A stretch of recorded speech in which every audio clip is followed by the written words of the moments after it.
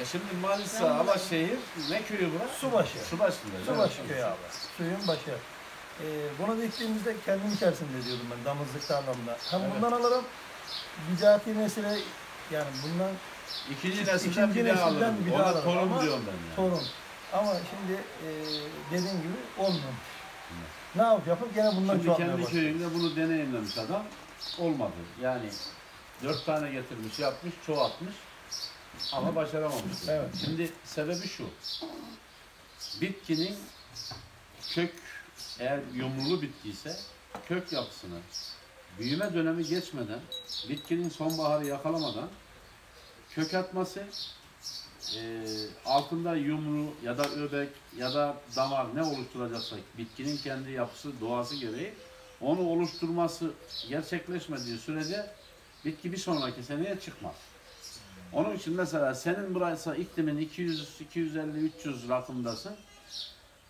Ekim ayının sonuna kadar bütün alıp dikimlerini gerçekleştirmen lazım. Yani Ekim bu anaçlardan bu anaçlardan aldıklarını tarlana uygulaman lazım. E, Yani ne Devamlı kadar bu erken, anaçlardan. ha, ne kadar erken gerçekleştirirsen o kadar da iyi olur yani. Şimdi- Mesela baktın ki Ağustos ayında e, çelik Bunlar oldu. oldu. Aldın dikim yaptın. Eylül, Ekim Ekim. geldi. 90 gün sonra Biraz ürünün var. Bunlar e, kökten bir tane çelik sana verebilir. Yani iki metreye gelmiştir. Belki iki tane verebilir. Baktın. ilk diktiklerim tabii. Ha, ya bun, bunlar, Bunların onlardan deney yapabilirsin.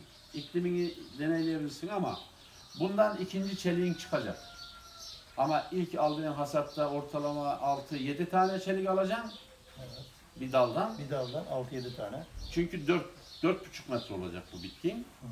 Ama sonra e, Ekim ayının başı falan geldiği zaman en fazla 2-2,5 metrelik bir olur. İkinciye. Oradan da 7-8 tane alma da 2 tane al altından Anladım. tekrar.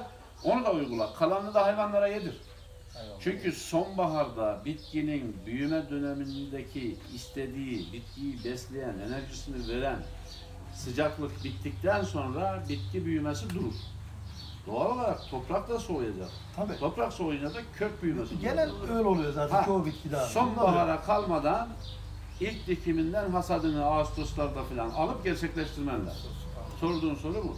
Şimdi Türkiye'nin hiçbir yerinde bu mevsimde bu çeliğin canlanıp, büyüyüp, sertleşip daha gargılar bile uyanmadı. Gargıladı yapmadı. Bunun sertleşip, kökleşip bu hale gelmesini sağlamak mümkün değil. Ben bunu yurt dışındaki arazilerimden getiriyorum. Aynen. Getirirken de geçen sene de e, 8 dolar ödüyordum bir kiloya. Bu sene de 8 dolar ödüyorum. Ama dolar Geçen sene 5.6 lira ödüyordum bir kiloya. Bu sene 15 lira ödüyorum bir kiloya ve hala dolara kafa tutuyorum. Allah razı olsun. Abi, Yani hiç zam yapmadım. Tonajda da matematiğe kafa tutuyorum. Ben hep kafa tutmaya geldim. Zaten benim bütün prensibim bu. Yani dik duracaksın, kafa tutacaksın. Böyle bodoslama düşmana doğru gideceksin. Bizim düşmanımız kim? Enflasyon, dolar, pahalılık, bizi üten e, yemciler, sılajcılar, efendime söyleyeyim, süt yemi, ot yemi, bilmem ne yemi, makine yemi, fabrika yemi bunlar sürekli bu insanları bir şekilde cazip bir şeyler anlatarak parasını topluyor. Ben de diyorum ki, ha burada al kardeşim. Yani ama bugün ma, Nisan ayındayız değil mi? Nisan. Nisan, ayının hiçbir yerinde bu coğrafyada bu Bulamazsın çeliğin ya. bu hale getirme şansın yok. Bu Bulamazsın. bir ithal çelik. Aynen. Yani gerçeğini al, yoluna devam et. Ama bunu şimdi bazı bölgelerde işte şeyler yapıyorlar. Seralar yapıyorlar, bilmem ne yapıyorlar vesaire. Ve buradan size çelik üretiyorlar. Adana'dan, Antalya'dan vesaireden. Bu çelikleri size satıyorlar. O çeliklerden hayır gelmez. Ben serada ürettiğim malım bu. Görüyor musun dibindeki amacı? Aynen abi. Gördün mü kardeşim? Gördüm. Bunu Şubat ayında ve Ocak ayında gelmiş. Ben bu bitkimi korumak için dikmişim. Korumak için fide yaptım. Çünkü bu malı Şubat'ta kimse dikemez. Dikemezsin abi. Bu malı korumak için buraya dikmiş miyim? Dikmişim. Ben malımı korumuşum. Sen de alırken hazır 50 santime ulaşmış bir bitki almışsın. Ya ben sana bunu 50 santime ulaştırdım. Buna da 40 lira ver demedim. Kaç liraya sattın? Aynı 30 lira. 30 lira. Yani insanlar bunu ne yapıyor? Ocak ayında dikmiş. İklimlemesi klimalı seralara dikmişler. Bu seralarda bunu boyunu uzatmış. Oradan çelik almış vatandaşa. Şimdi 15 liraya çelik satıyorum diyor. Bildiğin, bildiğin profesyonel dolandırıcılar. Profesyonel dolandırıcılar. Gerçekten. Kardeşim, benim o seraları yapma gücüm yok muydu? Tam o zaman Klimanın da, iklimlemenin de, seralın da, kralını yaptırırdım. Ben şimdi bunu 8 dolar dışarıdan getirip havaalanında nakliye parası ödemezdim. Dolayısıyla da insanlara 15 lira 20 lira diye satardım.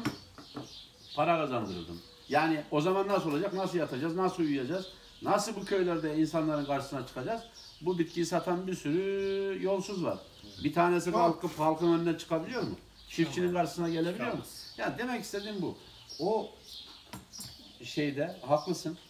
Ee, bazı şeylerin hesabını güzel yapacağım. Ben kararımı buna verdim. Adam beni dolandıracaksa da yalan da söylüyorsa da ben bunun gerçek sahibini alacağım diye karar vermişsin. Allah razı olsun beni tercih etmişsin. ben Abi- bunu şimdi sana ver, senin bana verdiğin e, şurada alacağın 2-3 bin lira para. Aynen. E, ben buraya zaten bin lirasını yaktım gelirken. Doğru söylüyor.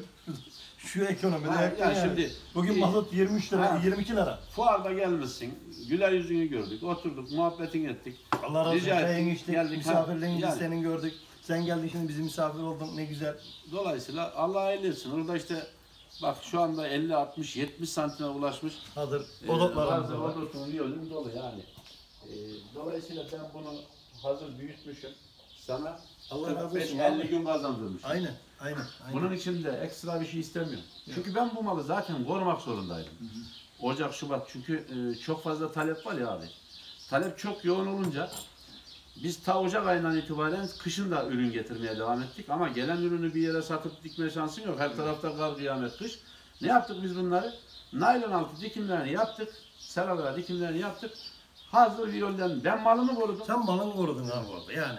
e, Bu. gerçekten bu Şubat ayında ve zaten bu sene Türkiye Evet. gerçekten soğuk günler geçirdi. Dikemezdik. Kimse dikemezdi. Sen malını korumak için doğru olanı Yani yapmışsın. son